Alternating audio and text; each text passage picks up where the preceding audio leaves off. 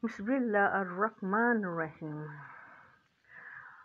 Baby's first Quran stories is a wonderful way to introduce little ones to some of the Quran's best love stories.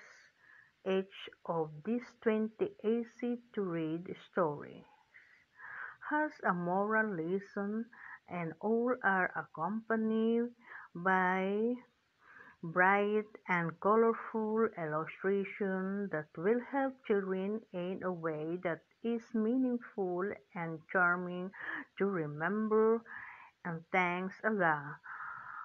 One way read the book by oneself or aloud with the whole family as a guest. It is a perfect. Assalamu alaikum rahmatullahi barakatuh.